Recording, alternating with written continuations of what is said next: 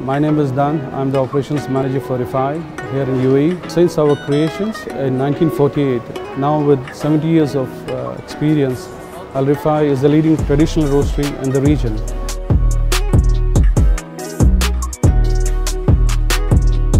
We offer premium quality products sourced from uh, across the globe. Like uh, our best-selling zero-size macadamia is sourced from Australia. We have cashew jumbos sourced from Brazil. We provide a hand-cracked walnuts, which is specially sourced from Chile. So these are our specials.